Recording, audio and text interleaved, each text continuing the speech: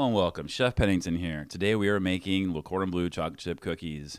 I promise this is one of the best recipes ever. And the trick is we're using pastry flour. That's something that the French do. That's something they taught us to use. And here's how we make it. We're going to use two cups of cake flour and we're going to use one cup of all-purpose flour. Now the reason we're doing this and we're using pastry flour is to reduce the amount of protein. All-purpose flour has a higher level of protein, which creates a more dense cookie. Doesn't mean it can't make a great cookie. We've all enjoyed lots of all-purpose flour cookies, but this is better, guaranteed better. And we just saw how it is it easy it is to make pastry flour. Now you can't really find it at the grocery store. Now take a look there. It's lighter in texture. It's fluffier. It's what we want for baking something that we want to have a, a not dense end result. So here's another way to make it.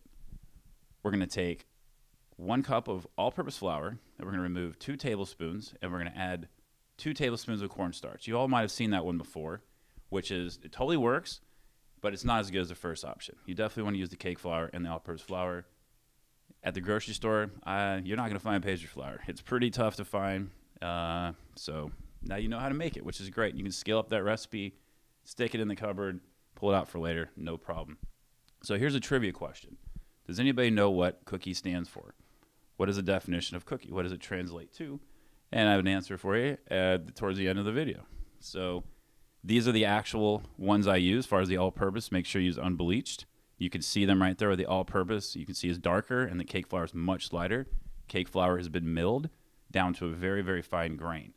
That's why you cannot make cake flour at home unless you have all that amazing equipment. So the French and how we were taught in school is they weigh everything. They're on the metric system in the United States. We know we're all on a different system. So they weigh everything. I'm gonna have all the ingredients measured out for both recipes. You can go metric or you know if you want a cup, half cup. See right there, three fourths of a cup. So we got it both ways here today. So we're starting with brown sugar. Brown sugar is probably one of the greater ingredients. If you haven't been using brown sugar before, wow, are you going to be amazed how much better it is to add the brown sugar? Incredible. So we got our equal um, equal amounts on the sugar, and now we have three eggs, but we're not using all three of them we're going to use two eggs and one yolk. That yolk is going to create that little bit of chewiness that we love in the cookie in the centers, and that's the magic. And part of it, removing some of the egg white, helps along with that development. So very cool. Six ounces of the butter, one and a half sticks, one full stick is four ounces, which is cool to know. And we're going to keep the wrappers because we're going to use them to grease our cookie sheet. So weighing out our flour here, we've sifted this now twice which is important. We really want everything to come together, and we don't want the little spotty parts of the cake flour versed to all purpose. We're using 10 ounces here, which converts to two and a quarter cups of flour. There will be a link below. We'll have all the recipe measurements and instructions for you too. Please feel free to share that. I'd love to get this recipe out and share it with the world.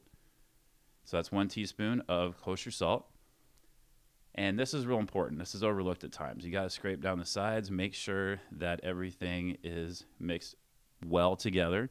And when you're creaming out your, your butter and your sugar and your eggs there, let it go for a while. You don't just want to bring it together where it looks okay. Part of that process is allowing the sugar to hydrate. And our in culinary school, our, our teacher kind of kidded like, go as long until the bowl gets warm. Like that would obviously take forever but she was making the point to let it go for a while. So here's our final sift. We added the baking soda and the salt, so we need to do it again. This is just how we make cookies. Got to do it. So here's my, and I added this. I wanted to see how everything worked. It's really nice, a little nutmeg. I talk about how it's an underutilized ingredient. Please use fresh. I've not tried this with the, you know, prepared, but I'm sure it works. Just sprinkle a little bit in there. It's just more depth of flavor. For the chocolate, I like using Ghirardelli, just a really good brand. I'm not paid to say that. Now, the bittersweet 60% cacao is pretty cool. That little bitterness is not bitter. Let's just say it like that because we have all the sugar and everything that's going on. So it's balancing out the cookies. It's a really good addition. I highly encourage you to do that. And you'll love it. 20 to 30 minutes. You can go longer. You can even cook. You can make them tomorrow. No problem. But the gluten and, in the flour is going to relax. It's going to create a less dense cookie once again and it's going to make it a lot easier for us to scoop this out and shape them. And we're going to grab a little bowl of water and an ice cream scooper, and that little bowl of water is going to allow us to help the cookie dough not stick to our hands. So that happens when we're sitting there shaping them. I like making them into a ball so they're all even size. And as the cookies bake, they are going to flatten out. So we're putting six on this one. I think this is 18 by 13 cookie sheet. And then we're going to add a few extra chocolate chips. This is something I like to do. Oh, please subscribe. I'd love for y'all to stick around and see all this cool stuff we're going to do in the future and hit the bell so you know when we post new content. So adding a few little extra ones in there is pretty nice. It just helps with presentation and who doesn't want more chocolate chips? So that's a winner winner. 350, definitely 350. It takes about 14 minutes. After about 11, 12, go take a look. Here's the answer to our trivia quiz.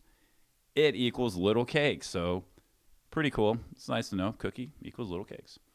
Thank you, the French. So this is after about 11 minutes. You can see that the edges are starting to get crispy. It's like airy sugar goodness, and that's what they're going to look like when they're done. And when you pull them out, right in the middle, just a little light taparoni. you can see the color is going to let you know that it's it's set up. And then, if you like, I like doing this sometimes. If you you know it can help the presentation. Plus, it's still hot and they'll melt and all that. It's just amazing, y'all. This is such a good recipe. Please share it with everybody come join us on social media. I'll have links below for you and the recipe card below. Y'all have the best. Here's some of our other goodies here. Please stick around, and I hope you guys have the best. Take care. It's just